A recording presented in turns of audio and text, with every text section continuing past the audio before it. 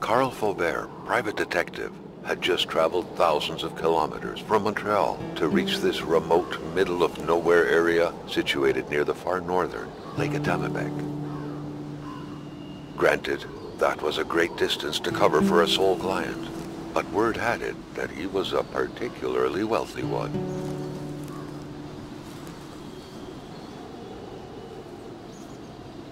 Carl had to drive a bit further north in order to meet with wealthy industrialist William Hamilton. William Hamilton was a prosperous owner who had acquired various businesses as well as metal mines in this northern region. Carl, always diligent in his work, always carried his log on him, in which he scribbled down thoughts and leads alike during the course of his investigations.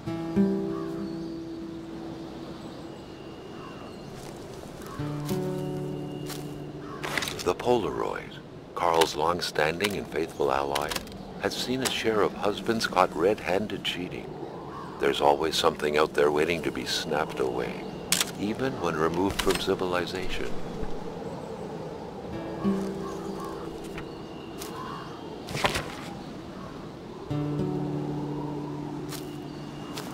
Hamilton is waiting for Carl in the general store. It was time for him to get down to business.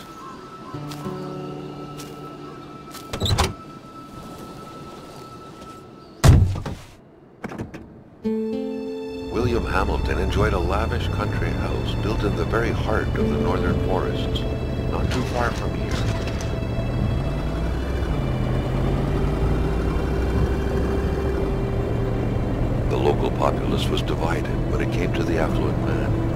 Some saw a wealthy philanthropist dedicated to improving the region's economy. Others, an aging Englishman who would do anything to further his fortune. And these ones hated him enough to go on about scheming against him.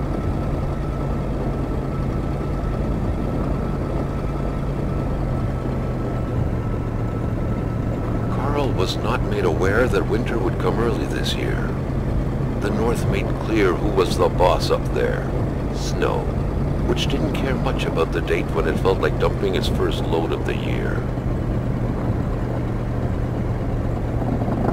Hamilton had recently acquired a few local businesses, but the last straw was the reopening of a mine, which gave rise to a wave of protests and threats from the Cree people.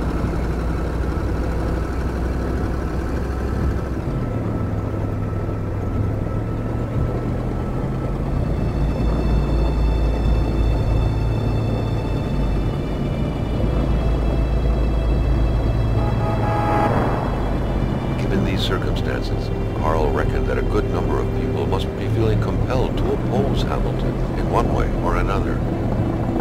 So far, only the industrialist's house had been a target, but soon enough, Carl thought, the target would become the man himself.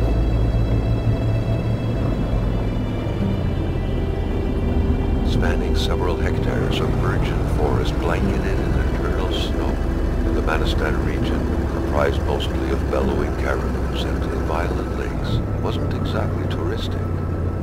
It was said that its lands had harbored the Cree people for thousands of years. But since the Industrial Revolution, it seemed that all they harbored were metal mines. Very few souls claimed the territory surrounding Lake Atamipek. It could barely be called a village, an enclave, or a settlement perhaps. Anything that illustrates middle of nowhereness bordering the backwoods of the Cree Kingdom.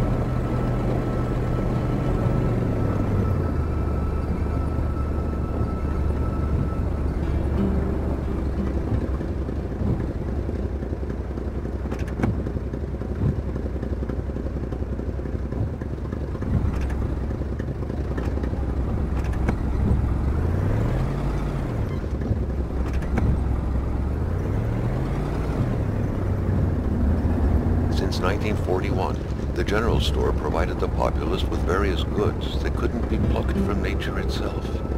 William Hamilton had recently taken over the place. In fact, the whole region was now his.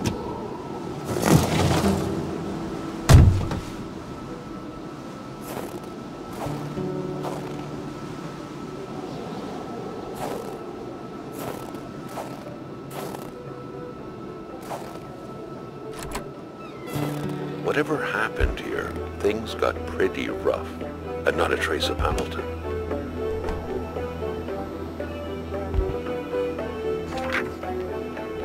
Gilles Lachance, Carl recollected, was the general store's manager. Should Hamilton not be available, he was the man to talk to. Or what if Hamilton had moved up his appointment with his physician?